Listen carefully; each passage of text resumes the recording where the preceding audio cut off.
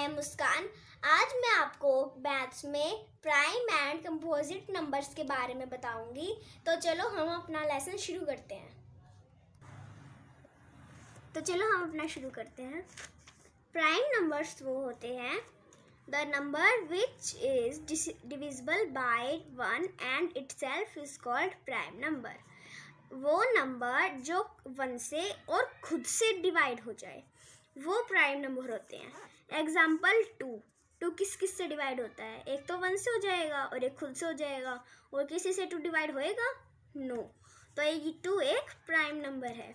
Three three भी one से divide हो जाएगा और थ्री से डिवाइड हो जाएगा और किसी से डिवाइड नहीं होएगा। ऐसे ही फाइव और सेवन फाइव भी वन और फाइव से डिवाइड हो जाएँगे। ऐसे ही सेवन वन और इट खुद से डिवाइड हो जाएगा और किसी नंबर से डिवाइड नहीं होंगे।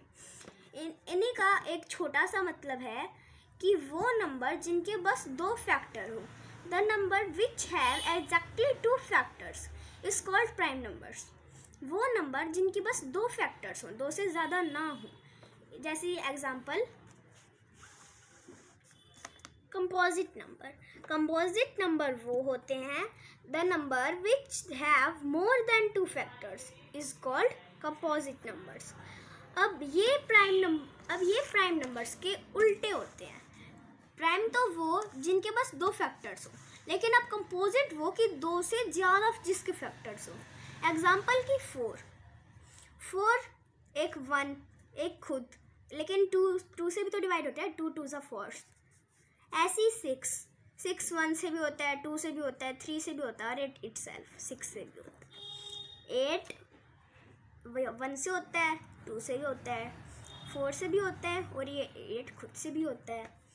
वन, यहाँ पे नाइन, ये वन से होता है, थ्री से भी होता है और नाइन खुद से होता है।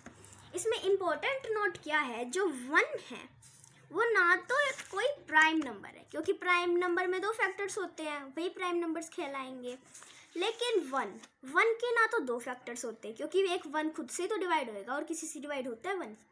तो ये तो ना तो प्राइम नंबर हुआ और ना ही कंपोजिट नंबर क्योंकि कंपोजिट नंबर में तो टू से ज़्यादा फैक्टर्स चाहिए होते हैं और प्राइम में टू तो ना ही वन प्राइम नंबर है और ना ही वन कंपोजिट नंबर है।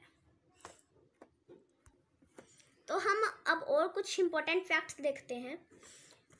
सबसे छोटा प्राइम नंबर किसे कहते हैं? First prime number two two के बारे में एक और फैक्ट है। टू बस एक इवन प्राइम नंबर है। Two is only an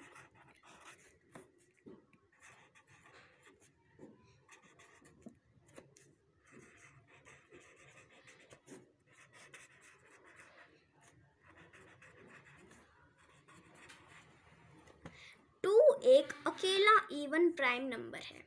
क्यों अगर टू के सिवाय और कोई प्राइम नंबर हो ही नहीं सकता। कोई प्राइम नंबर होएगा तो वो टू से दोबारा कट जाएगा। वन टू हंड्रेड में कितने प्राइम नंबर है? अगर आपसे कोई पूछे तो आप गिनने लगोगे? नो ट्वेंटी फाइव इनको याद करना पड़ता है। वन से लेके हंड्रेड के बीच में कितने प्राइम नंबर है? ट्वेंटी फाइव वन से लेके थाउजेंड्स के बीच में अगर कोई प्राइम नंबर्स बोले तो कितने हैं वो?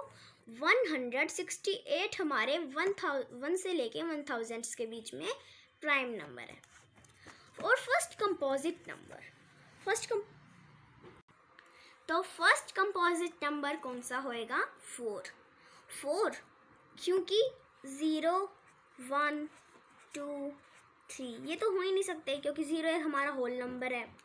वन ना तो प्राइम नंबर होता, ना कंपोजिट नंबर टू हमारा प्राइम नंबर है थ्री भी हमारा प्राइम नंबर है तो फ़र्स्ट कंपोजिट नंबर क्या हुआ?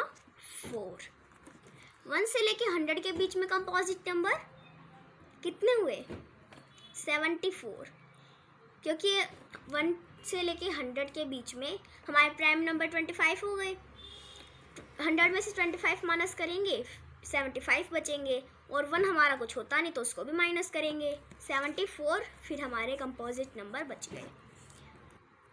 तो हम अभी इसको सॉल्व करके भी देख लेते हैं। जैसे हंड्रेड हमारे डिजिट्स हो गई। ये हंड्रेड डिजिट्स हो गई। इसमें हम प्राइम नंबर ट्वेंटी फाइव तो हम यहाँ पर ट्वेंटी फाइव को इसमें से माइनस कर देंगे। कितने होंगे सेवेंटी फाइव सेवेंटी फाइव बच गए। ये क्या हमारे कंपोजिट नंबर होंगे नो no, क्योंकि वन भी है इसमें। वन से लेके हंड्रेड के बीच में है ना तो इसमें वन भी माइनस करेंगे। ये तो आपको पता ही है, अब सेवेंटी फोर कंपोजिट नंबर हमारे वन से लेके हंड्रेड के बीच में हो गए। अब वन से लेके वन थाउजेंड्स के बीच में कंपोजिट नंबर ये कितने होंगे एट हंड्रेड थर्टी वन ये हमारे वन से लेके वन थाउजेंड्स के बीच में कंपोजिट नंबर है ओके तो होप कि आज की वीडियो आपको नॉलेजबल लगी होगी। तो bye bye take care thank you